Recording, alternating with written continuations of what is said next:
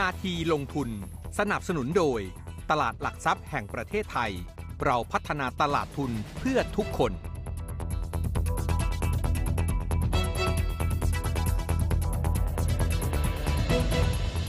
วัสดีค่ะ สวัสดีครับ ต้อนรับเข้าสู่ Investment Minutes นาทีลงทุนนะครับ วันนี้สุกร์ที่ 18 กันยายน 2563 โสพล ณวรัตนาคงครับ และดิฉันชุติมาพึ่งความสุข วันนี้รับหน้าที่แทนคุณธัญมัยอนันตะกรณีวัฒน์นะคะ คุณผู้ชมก็สามารถรับชมรายการของเราได้ทั้งช่องทางหลัก m c o t HD หมายเลข 30 นะคะ แล้วก็อีกช่องทางหนึ่งก็คือในเพจของสำนักข่าวไทย ที่เรามีการไลฟ์ควบคู่กันไปด้วย อย่าครับลืมกดไลค์ กดแชร์เข้ามานะคะ และที่สำคัญค่ะ อย่าลืมถามเกี่ยวกับเรื่องของภาวะเศรษฐกิจอ่าเกี่ยวกับเรื่องของการลงทุนได้ด้วยเนี่ยนะคะได้คและรับอีกช่องทางหนึ่งเนี่ยนะคะ ก็สามารถติดตามข้อมูลข่าวสารเนี่ยนะคะ ในส่วนของโซเชียลที่ www.settrade.com นะคะ แล้วก็ทาง Facebook Set Trade Club อีกด้วยค่ะอะช่วงไลที่ฟ์ไลฟ์ช่วงที่ 2 ของรายการเนี่ยอ่าเราก็จะอ่ามีมีเรื่องของการประเมิน อันนี้น่าสนใจค่ะคือคือเดี๋ยวช่วงช่วงแรกเลยเนี่ยหลังจากรายงานข้อมูลเสร็จ เราจะคุยกับนักวิเคราะห์เลยว่า ก่อนถึงวันพรุ่งนี้ค่ะที่เป็นประชุมนุมใหญ่ ตลาดหุ้นประเมินยังไง วางกลยุทธ์ยังไงดีค่ะส่วนที่ช่วงที่ 2 ของรายการวันนี้จะไปดูเรื่อง Fund Connect กันนะครับ เรื่องของการลงทุนในกองทุนรวม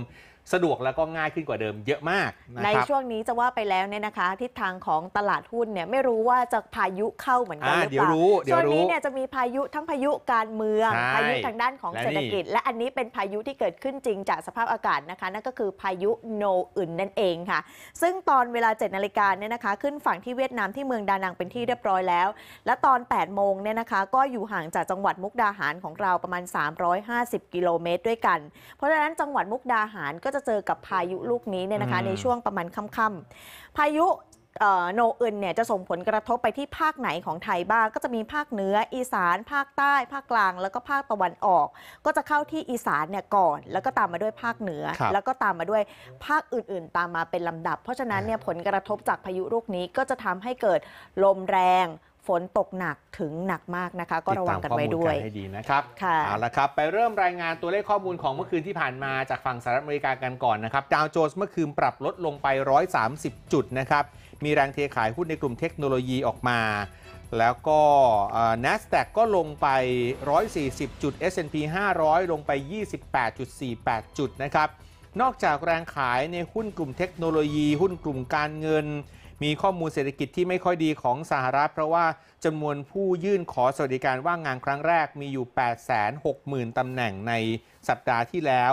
ถึงแม้ว่าจะเป็นตัวเลขที่ต่ำกว่าที่นักวิเคราะห์คาดการณ์มาที่ 875,000 ราย แต่ก็ยังมองว่าจำนวนผู้ยื่นขอสวัสดิการว่างงานก็ยังสูงอยู่ดีครับ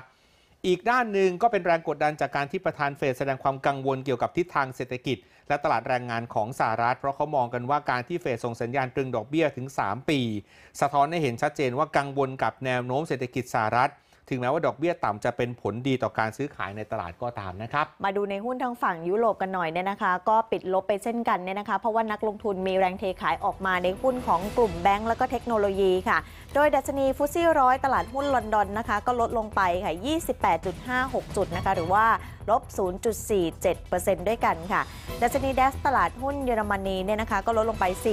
47.25 จุดค่ะ ส่วนดัชนี CAC 40 ตลาดหุ้นฝรั่งเศสก็ลดลงไป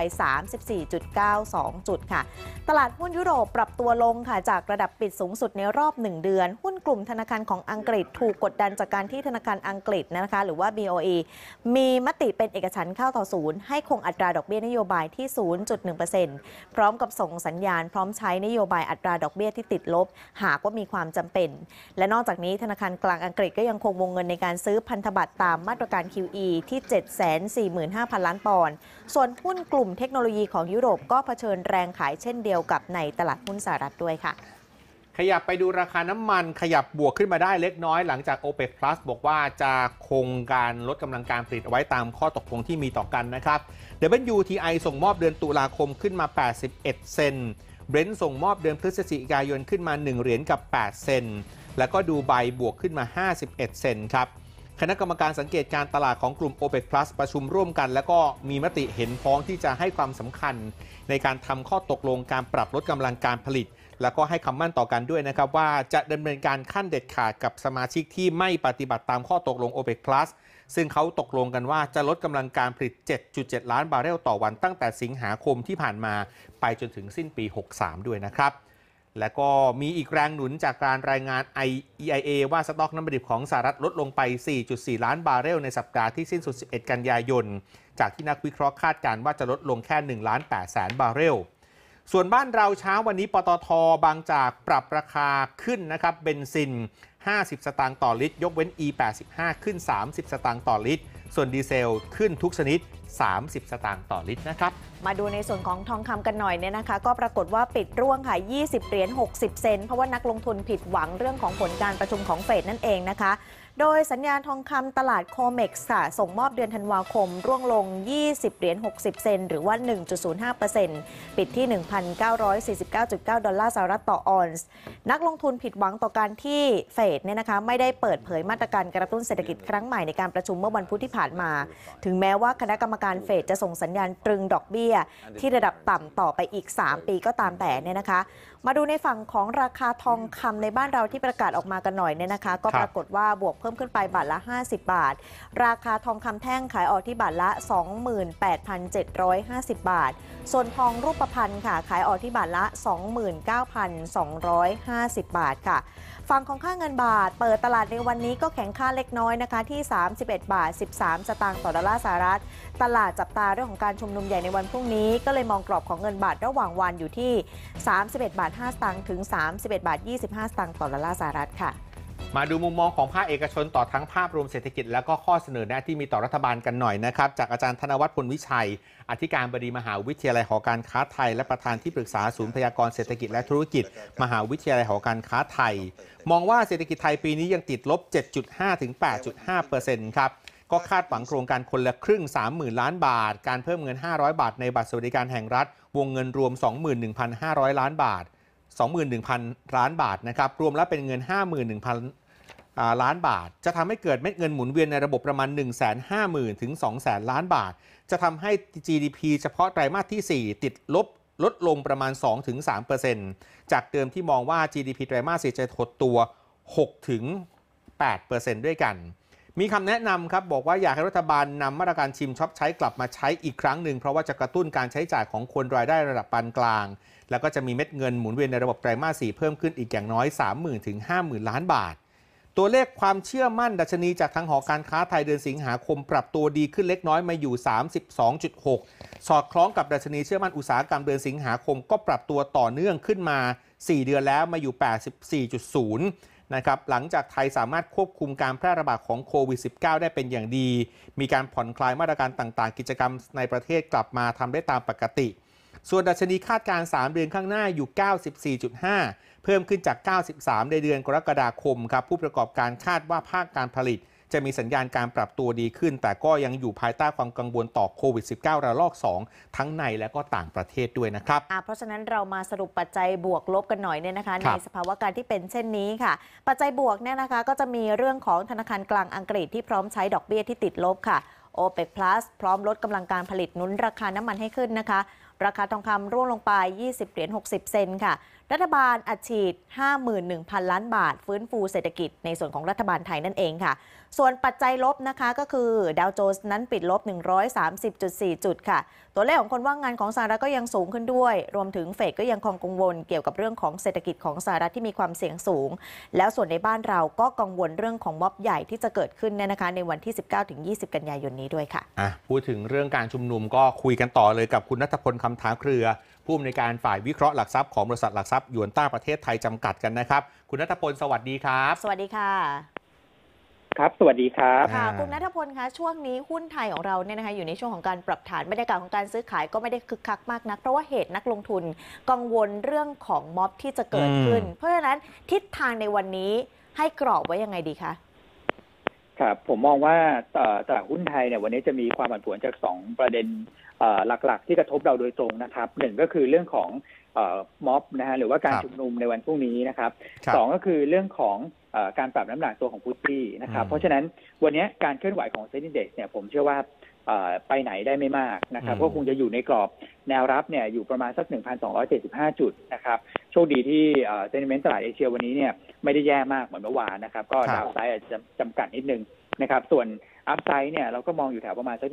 1,290 ยังไงก็ยังไม่น่าจะเกิน 1,300 จุดอืมนะครับเอ่อในช่วงใดตลาดเนี่ยคิดว่าน่าจะผันผวนสูงทีเดียวนะครับ เพราะว่ามีการปรับน้ำหนักตัวของฟุตซี่กันด้วยนะครับ แล้วก็เอ่ออาจจะมีแรงขายทำกำไรออกมาบ้างนะครับ หรือว่าแรงขายเพื่อลดความเสี่ยงเพื่อรอดูสถานการณ์ในในวันเสาร์นี้นะครับครับซึ่งนักลงทุนในตลาดเนี่ยคงจะให้ความสำคัญอยู่สองประเด็นนะครับหนึ่งก็คือ เอ่อคือผมมองว่าเราก็ทุกคนก็ไม่ไม่ไม่ไม่อยากให้เกิดการปะทะใช่ค่ะความรุนแรงนะครับเราเราก็จะไม่มองในใน solution แบบนั้นนะครับ อืมเรามองว่าหนึ่งก็คือจำนวนเอ่อกลุ่มผู้ชุมนุมด้วยนะครับสองก็คือความยืดเยื้อนะครับถ้าเกิดว่าเอ่อเป็นลักษณะออกมาเรียกร้องนะครับ ตามสิทธิ์แล้วก็เอ่อจำนวนคนอาจจะอาจจะเยอะแหละนะครับ แต่ว่าเอ่อไม่ได้มีลักษณะเป็นการชุมนุมที่ยืดเยื้อเนี่ยผมคิดว่าวันจันทร์เนี่ยตลาดจะตอบรับเอ่อเชิงบวกได้นะครับเอ่อ จริง ๆ แล้วเนี่ยส่วนใหญ่ถ้าเกิดว่าเราย้อนไปดูในช่วงสี่สัปดาห์ที่ผ่านมาเนี่ยวันจันทร์ตลาดหุ้นเนี่ยมักจะดีนะครับ เพราะว่าเสาร์อาทิตย์ถ้าเกิดว่าตลาดทั่วโลกเลยเนี่ยเขาก็จะมีปัจจัยหนุนในเรื่องของวัคซีนเข้ามาครับนะครับเข้ามาช่วยแล้วก็ทำให้เซนิเมนต์ช่วงต้นสัปดาห์เนี่ยมักจะดีกว่าช่วงปลายสัปดาห์อยู่แล้ว นี่คือมการลงทุนในภาพรวมนะครับแต่ถ้าเกิดว่าม็อบเราไม่ได้รุนแรงด้วย ผมคิดว่าวันจันทร์เนี่ยมันก็น่าจะคลายความกังวลในระยะสั้นเอ่อ การไม่ได้มีความรุนแรงนะครับ แล้วก็ไม่ได้ยืดเยื้อเนี่ยไม่ไม่ไม่ได้หมายความว่าจะจบในทันทีนะครับ ก็อาจจะมีเอ่อการการชุมนุมต่อเนื่องกันไป แต่ว่าอาจจะไม่ได้เหมือนรูปแบบเดิมๆและที่เป็นลักษณะค้างคืน แล้วก็เอ่อยิงยาวกันเลยนะครับอืมถ้าเกิดว่าออกมาใน solution แบบนี้ผมคิดว่าตลาดตอบรับเชิงบวก แล้วก็อาจจะกลับขึ้นไปยืนเหนือพันสามได้ครับนะครับแต่ถ้าเกิดว่าออกมาใน solution ที่เอ่อเราไม่อยากให้เกิดขึ้นนะครับ ก็คืออาจจะมีความรุนแรงหรืออะไรประมาณเนี้ยนะครับ ก็อาจจะมีการ ตอบรับเชิงลบนะครับ ซึ่งผมให้ scenario ไว้คร่าวๆอย่างนี้แล้วกันนะครับอืมว่าเอ่อเราเคยประเมินเรื่องของการเมืองไว้นะครับ โดยดูจากการชุมนุมใหญ่สี่ครั้งที่มาที่ผ่านมาตั้งแต่ปี 49ครับนะครับเอ่อเซ็นดีเด็กเนี่ยจะลงจากจุดพีคในแต่ละรอบเนี่ยประมาณสัก 13%โดยเฉลี่ย นะครับรอบนี้จุดพีคคือ 1,450 จุดทดไป 13%นะครับแนวรับจะอยู่แถวประมาณ 1,250 1,270 ที่เรากำลังจะทดสอบตรงนี้พอดีเลยครับนะครับค่ะครับแต่ถ้าเกิดว่ามีความรุนแรงเราย้อนไปถึงปี 35 เนี่ยเซ็นดีเด็กจะลงจากจุดพีคประมาณสัก 20%อืมนะครับซึ่งถ้าเกิดว่าทด 20%เนี่ย ข้างล่างก็คือแถวบริเวณ 1,160 ถึง 1,200 จุดราวๆตรงนั้นครับนะครับ ถามว่าเหลือ downside เยอะไหม คือผมมองอย่างนี้ครับว่าเอ่อข้อดีในแง่ของภาพการลงทุนนะครับ ก็คือเราเนี่ย underperform ภูมิภาคอยู่ประมาณสักเจ็ดเปอร์เซ็นต์คือเขาขึ้นกันหรือไม่เขาทรงตัว แต่ว่าเราเราไหลลงมาแล้ว คือมีเจ็ดเปอร์เซ็นต์ที่ underperform เป็นทุนแล้วนะครับเพราะฉะนั้นเราจะเห็นว่าการเคลื่อนไหวจริงๆ สัปดาห์นี้ตลาดหุ้นทั่วโลกก็ไม่ได้ดีมากนะครับเขามีการพักด้วยซ้ำแต่เราอะเริ่มพักน้อยกว่าคนก็เอ๊ะหรือว่าการเมืองจะไม่มีอะไรหรือเปล่าครับหรืออะไรประมาณนี้แต่ผมกำลังจะบอกว่าจริง ๆ เนี่ยเราซึมมาคือรับมาพอสมควรแล้ครับวผมนะครับ เพราะฉะนั้นเราเห็นคือการเมืองข้อดีคือว่า เราสามารถที่จะดูอดีต แล้วก็หาจุดรับได้นะครับค่ะมันไม่เหมือนตอนโควิดที่แบบจะลงไปเรื่อยๆคาดผเดามเลยไม่มองได้ว่าเอ่อการลงมาก็คือเป็นโอกาส ครับครับผมผม ขอบคุณมากคุณนัทพลครับ ขอบคุณค่ะ สวัสดีครับ สวัสดีค่ะเอามาดูปิดท้ายในเบรกนี้เนี่ยนะคะครับในส่วนของสับลงทุนกันหน่อยค่ะคุณผู้ชมคะวันนี้เสนอคำว่า property fund นะคะ กองทุนอสังหาริมทรัพย์ค่ะ กองทุนที่ลงทุนในอสังหาริมทรัพย์ โรงแรม service apartment อาคารสำนักงาน อาคารโรงงาน อาคารศูนย์การค้าอย่างนี้เป็นต้นนะคะ ก็จะมี 2 ประเภทด้วยกันค่ะ ก็คือกองทุนที่ลงทุนในอสังหาริมทรัพย์ แบบถือเป็นกรรมสิทธิ์ หรือลงทุนในสิทธิการเช่าของอสังหาริมทรัพย์นั่นเองค่ะ เราจะพักกันครู่เดียวเดี๋ยวช่วงหน้าเรากลับมาดูเรื่องการลงทุนในกองทุนรวมซึ่งปัจจุบันนี้สะดวกและก็รวดเร็วมากนะครับ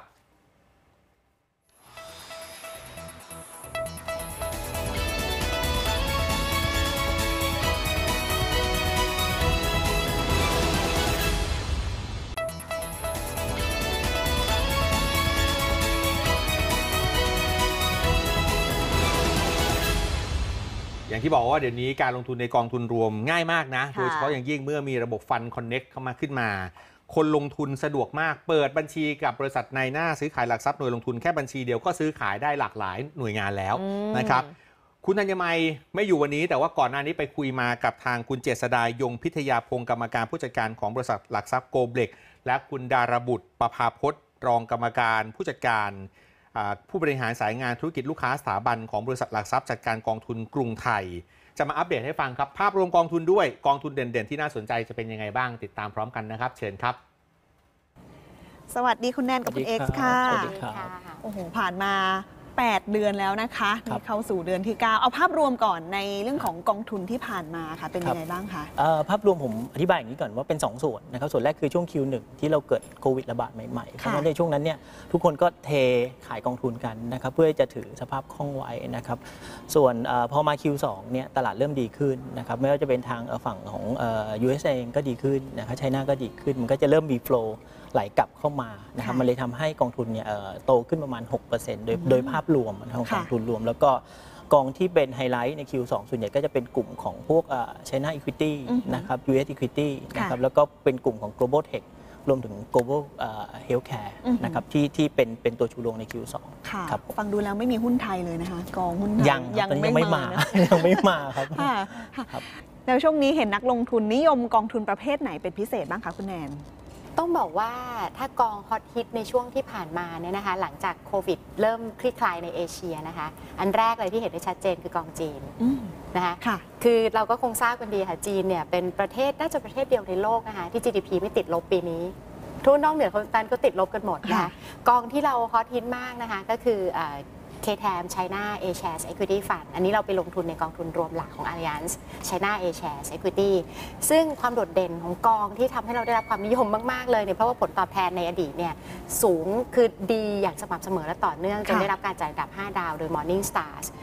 โดยกองเนี่ยจะเน้นลงทุนในหุ้น A shares ซึ่งเป็นสกุลเงินหยวนในประเทศจีนนะคะคะก็จะเน้นเรื่องอว่า การบริโภคของคนจีนเนี่ยที่ไม่ได้ออกมานอกประเทศเลยก็อือฮึบริโภคอยู่ภายในประเทศ แล้วก็บทบาทที่สำคัญเพิ่มขึ้นของของเศรษฐกิจโลกของจีนค่ะนั่นกองแรก ส่วนกองที่ 2 ก็เกี่ยวพันกับโควิด -19 เหมือนกันนะคะเอ่อก็คือกองเกี่ยวข้องกับเทคโนโลยีอืมนะคะใช่กองของค่ะเราเนี่ยก็คือชื่อยาวนิดนึงนะคะก็คือ KTAM World Technology Artificial Intelligence Equity Fund อันนี้เราลงทุนในกองอ่า Artificial Intelligence ของ Allianz นะความโดดเด่นของกองนี้คืออะไร คือเราไม่ได้ลงทุนแค่เฉพาะในหุ้นที่ทำด้านโครงสร้างพื้นฐาน ค่ะที่เกี่ยวข้องกับปัญญาประดิษฐ์หรือ AI เท่านั้นนะคะ แต่ลงทุนในหุ้นอื่นที่ได้รับประโยชน์ หรือเกี่ยวกับวิวัฒนาการของ อืม AI ค่ะ นะคะถ้าคนที่คนไทยรู้จักกันดีเนี่ยอย่างพวกอ่า คนที่ผลิตรถยนต์ไฟฟ้าอย่างเทสลาโอ้โห กี่ร้อยเปอร์เซ็นต์อะขึ้นมาลงทุนในเทสลาแล้วก็เอ่อบริษัทอีคอมเมิร์ซชื่อดังระดับโลกอย่าง Amazon อือหือนะคะค่ะนี่เป็นตัวอย่างว่าเขาไม่ได้เป็นคนทำอย่างนี้อย่างเดียวนะคะเขาเอานำมาประยุกต์ใช้ ตรงนี้เนี่ยก็จะเห็นว่าผลตอบแทนเนี่ยก็จะจะโดดเด่นมากเลยนะคะในช่วง 1 ปีที่ผ่านมาเนี่ยค่ะอันนี้กองเป็นสกุลเงินบาทแล้วนะคะก็ผลตอบแทนสูงถึงแบบ 49%อือหือสามเดือนที่ผ่านมาก็ 20กว่าเปอร์เซ็นต์28 30 ประมาณนั้นเลย ซึ่งค่อนข้างที่จะสูงมาก ก็เลยทำให้คนเนี่ยเข้ามา โอ้โห แห่แหนเข้ามาอืมลงทุนผ่านโปรเบ็กซ์ว่าก็เยอะนะคะ ค่ะ อันี้ก็เป็นกองที่ที่ถามว่าฮอตฮิตกองไหนก็ 2 กองเนี้ยหลักอ่าๆนะคะ ค่ะค่ะ ก็คือนี้เป็นผู้ที่จะตั้งกองขึ้นมา ฝั่งนี้ก็จะของบลโกเบกก็คือใกล้ชิดกับลูกค้า ครับ ใช่ไหมคะ แนะนำลูกค้าเพิ่มเติมด้วยไหมคะว่า ไปต่างประเทศก็ดีนะ หรือว่าเป็นสินทรัพย์อื่น ๆ ด้วยไหมครัคะบว่าอะไรที่ควรจะต้องเป็นการลงทุนในช่วงนี้ โอเค คือโดยโดยส่วนตัวนะครับก็คืออย่างอย่างที่คุณแนนเรียนคือกลุ่มเทคค่ะยังเป็นกลุ่มที่มองว่ายังมาอยู่อือหือนะครับผม เพราะฉะนั้นเนี่ยมองว่าแนวโน้มในอนาคตเนี่ยกลุ่มเทคก็น่าจะโตได้อย่างต่อเนื่องค่ะนะครับผม นอกจากนั้นเองก็มีไชน่านะครับแล้วก็เอ่อ US เองที่เอ่อได้รับผลกระทบ ค่อนข้างจำกัดจากโควิด แล้วก็เริ่มฟื้นตัวจากตัวเลขเศรษฐกิจต่าง ๆ ที่เกิดขึ้นค่ะครับอะนักลงทุนเลยมีทางเลือกมากขึ้นเนาะพอเราไปต่างประเทศได้ง่ายขึ้นใช่เดี๋ยวนี้ลงทุนกองทุนรวมก็สะดวกมากค่ะคลิกๆก็ได้เลย แล้วพอยิ่งผ่านระบบ Fund Connect อะถามครับว่าทั้ง 2 เจ้านะคะ ทั้งของ KTAM ทั้งของบล.โกลเบล็กพอได้มาจับมือร่วมกันแล้วเนี่ยทำให้เราเสริมจุดเด่นระหว่างกันยังไงบ้างคะอะคือเชิญค่ะอะโอเคเบื้องต้นเราเราเลยอย่างนี้ครับเราเป็นน้องใหม่ในตลาดค่ะนะครับเพราะงั้นเนี่ยเราก็ต้องหาแพลตฟอร์มที่สามารถที่จะ สร้างความเชื่อมั่นให้กับนักลงทุนนะครับแล้วก็เราก็มองไปมองมาแล้วแหละก็เห็นว่าอะนี่แหละ Fund Connect เนี่ยเป็นแพลตฟอร์มที่ค่อนข้างตอบโจทย์ แล้วก็ถูก implement โดยตลาดหลักทรัพย์เองนะครับผมเพราะฉะนั้นเนี่ยเราก็เลยโอเค เราเลือก Fund Connect นะครับค่ะ เป็นเป็นเหมือนเป็น partner ในเรื่องของ system นะครับแล้วก็ Fund Connect เนี่ยเอ่อช่วงแรกๆ ที่เราได้ feedback ค่อนข้างดีก็คือว่าลูกค้าเนี่ยค่อนข้าง happy ในการที่จะเปิดบัญชีค่ะ แค่บัญชีเดียว แล้วสามารถซื้อได้กับทุกบลจ.อืมที่อยู่ใน Fund Connectครับ ค่ะ อือหือแล้วมันทำให้อ่า มูลค่านะคะหรือว่า volume อะไรที่เข้ามาเนี่ยเพิ่มขึ้นไหมเห็นได้ชัดไหมคะเอ่อเราค่อนข้างในปีที่ผ่านมาเราค่ะโตอย่างจะใช้ว่าก้าวกระโดดละกันนะครับ เพราะว่าเรามีเอ่อทีมงานที่ค่อนข้างเป็นมืออาชีพค่ะนะครับเรามีระบบที่ดีนะครับผมแล้วเราก็มี partner อย่าง KTAM ที่ค่อนข้าง support เราในทุกเรื่องค่ะนะครับอืมครับซึ่งฝั่ง KTAM เนาะมี product ดีก็จริงแต่เข้าถึงลูกค้าอาจจะยากหน่อยเมื่อก่อนเป็นยังไงบ้างคะเปรียบเทียบให้ฟังหน่อยแล้วพอมี Fund Connect มันดีขึ้คืนอยังไงต้องบ้างต้องเรียนว่าสมัยก่อนนะคะ เวลาเราเข้าถึงลูกค้าเนี่ยเราจะเข้าถึงผ่านผู้สนับสนุนการขาย g l o b a l เป็นหนึ่งในผู้สนับสนุนการขาย ซึ่งผู้สนับสนุนการขายแต่ละราย ก็จะมีระบบของตัวเอง เฉพาะของแต่ละคนค่ะไม่มีความเหมือนกันอืมนะคะ ดังนั้นเวลาใครมาเริ่มต่อปลั๊กเสียบกันเนี่ยเราต้องเริ่มใหม่ใช้เวลาพัฒนาระบบงานเนี่ย เป็นขั้นต่ำเป็นหลักหลายเดือน ค่ะจนเป็นบางที่เป็นปีอือหือนะคะในการทำแต่ตอนเนี้ยพอทุกคนออนออนบอร์ดบน Fun Connect หมด ค่ะ เราแค่มาอ้าวคุณ Fun Connect เรา Fun Connect จบเราเสียบปั๊บ ทำได้ทันทีอือหือนะคะก็คือสะดวกมากๆ แล้วก็ทำให้อุตสาหกรรมเนี่ยไปได้เร็วขึ้นอย่างมากมายอะค่ะค่ะ ค่ะ อย่างล่าสุดมี QR code ไหมคะคุณ X ที่เราก็ใช้มือถือเราเนี่ยสแกนแล้วก็จ่ายได้เลย มันทำงานใช่ครับยังไงนะคะตัวนี้ คือคือล่าสุดเนี่ยที่ทางตลาด implement นะครับค่ะเป็นเรื่องของตัว QR code ก็คือว่าสมมติว่าคุณใหม่เนี่ยยกหูโทรศัพท์ค่ะโกลเบล็กนะครับเพื่อจะซื้อกองทุนนะครับโทรปุ๊บเอ่อทราบกองทุน confirm เรียบร้อยปุ๊บมันจะอีมีอีเมลเนี่ยยิงมาที่เอ่ออีเมลคุณใหม่ค่ะคุณใหม่แค่ เปิดอีเมล สแกน QR code แล้วก็จ่ายเงินได้ทันทีอืมนะครับค่อนข้างเร็วแล้วมันทำให้ทุกคนเนี่ยเอ่อเข้าถึงกองทุนได้ง่าย และทำให้การลงทุนเนี่ยเป็นเรื่องง่ายสำหรับทุกคนค่ะครับงั้นถ้าหุ้นสหรัฐเกิดตกขึ้นมานะโอ้เป็นจังหวะซื้อเลย เราก็ซื้อวันนี้ แล้วก็ถือว่าเราได้ลงทุนกับดัชนีที่ตรงนี้เลยใช่ไหมคะคุณแนนถ้าเราเอ่อลงทุนภายใน cut off time เราจะมีว่าเวลาสิ้นสุดว่าเราจะไม่รับออเดอร์หลังจากนี้ คือถ้าเป็นสมัยก่อนเนี่ยนะคะ เอาถ้าก่อนเลยเนี่ยต้องเอาเงินไปที่ธนาคารไปโอนเข้า หรือไม่ก็จะใช้ตัดเงิน ค่ะ ถ้าไม่ได้ตัดเงินไว้ก็จะยุ่ง แต่อันนี้เนี่ยพอมาถึงปุ๊บเห็น QR code คือสแกนเหมือนซื้อของเลย เออ คือง่ายแล้วเร็วมาก ค่ะ ต้องบอกว่าถือว่าเป็นนวัตกรรมใหม่นะคะ อืมที่ตลาดหลักทรัพย์นำมา ให้กับผู้บริโภคจริงค่ะ ผู้ลงทุนทั่วไปได้ใช้ได้ด้วย ย่อโลกให้เล็กลงเลยนะคะใช่ค่ะ อะงั้นเรากำลังจะเข้าสู่ไตรมาส4แล้วค่ะ มีกองทุนที่น่าสนใจแนะนำไหมคะ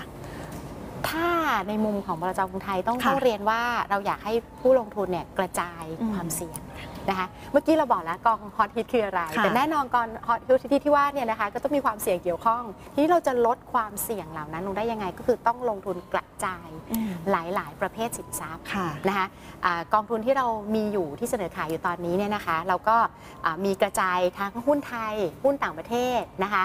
อ่า ตราสารหนี้อ่านนะคะตราสารหนี้ก็ลงทุนได้ทั่วโลกทค่ะองคำนะคะก็คือแล้วก็อสังหาริมทรัพย์โครงสร้างพื้นฐานกระจายไปหมดเลยนะคะตรงนี้เนี่ยช่วยให้เวลาสินทรัพย์ใดสินทรัพย์หนึ่งเกิดแย่ มันก็ไม่ได้แย่หมดทั้งพอร์ตอืมจะเห็นว่าที่ผ่านมาเนี่ยเวลาคนลงหลาย ๆ สินทรัพย์เนี่ยมันความเสี่ยงก็จะลดลงค่ะนะคะนอกเหนือจากนั้นแล้วนะคะเรายังมีบางกองทุนที่นอกจากกระจายหลายสินทรัพย์แล้ว เรายังมีประกันสุขภาพอืมอยู่ในกองด้วย นะคะอืม คือคือถ้าเกิดว่ามาลงทุนนะคะ ตามวงเงินที่เรากำหนด ค่ะ ก็สามารถได้รับความคุ้มครอง ด้านค่าใช้จ่ายกรณีเราเกิดการเจ็บป่วยโอ้คือต้องบอกว่าโควิด -19 รอบนี้ทำให้เราประจักษ์โอ้แล้วก็ตระหนักในหลาย ๆ เรื่องว่า ค่ะ เรื่องบางครั้งเงินก็อาจจะซื้ออะไรไม่ได้ทุกอย่างนะคะค่ะสุขภาพสำคัญมากดังนั้นตรงนี้เนี่ยเราก็มีครบ จบในกองเดียว อือหือ ให้กับผู้ลงทุนที่สนใจ อันนี้เราชื่อว่ากองทุนเปิดกรุงไทยยกกำลังสุขภาพวงเล็บนะคะก็สำหรับใครที่สนใจก็ติดต่อได้ที่ผู้สนับสนุนการขายทุกแห่ง ค่ะเนี่ยเนาะพอระบบมันมันคล่องแล้ว ผู้ที่จัดทำกองทุนก็หาอะไรใหม่ๆ มาให้นักลงทุนได้ประโยชน์กันมากขึ้นนะคะ วันนี้ต้องขอขอบคุณค่ะ ทั้งทางบลจกรุงไทย และก็ทางบลโกลเบ็กซ์ด้วยนะคะ ขอบคุณมากค่ะ ค่ะขอบคุณค่ะ ปัจจุบันนี้มีผู้ใช้บริการ Fund Connect รวมแล้ว 54 รายนะครับ ก็คือเป็นบริษัทหลักทรัพย์จัดการลงทุน 21 ราย แล้วก็บริษัทนายหน้าซื้อขายหน่วยลงทุน 34 ราย ในแง่ของปริมาณธุรกรรมเฉลี่ยของ Fund Connect นี่เติบโตมากกว่า 400%นะครับข้อมูลณสิงหาคมเปรียบเทียบกับข้อมูลเมื่อปี 2562 ครับ เติบโตสูงนะคะเพราะว่ามาครับสะดวกแล้วก็รวดเร็วนั่นเองค่ะครับคุณผู้ชมคะ ทุกวันศุกร์แบบนี้เนี่ยนะคะ น้องวานค่ะจากโครงการ Care the Whale ค่ะจะมาชวนทุกคนทำขยะล่องหน และสำหรับวันนี้นะคะจะชวนรู้จักกับ compostable plastic คืออะไรก็คือพลาสติกที่ย่อยสลายได้เองตามธรรมชาติเนี่ยแหละค่ะ ด้วยการฝังกลบแล้วก็การหมักในสภาวะที่เหมาะสม แล้วก็ใช้เวลาในการย่อยสลายตั้งแต่ 6 เดือนหรือว่า 1 ปีขึ้นไป แล้วก็จะกลายเป็นปุ๋ยอินทรีย์โดยไม่ทิ้งสารพิษตกค้างนะคะ ผู้ที่สนใจก็สามารถติดตามข้อมูลเพิ่มเติมที่เป็นสาระความรู้แบบนี้ดี ๆ ได้นะคะใน Facebook Care the World นั่นเองค่ะ ปิดท้ายกันด้วยหุ้นเอเชียกันนะครับ เช้าวันนี้ครึ่งวันเช้านิเกอีปิดบวกขึ้นไปได้ประมาณ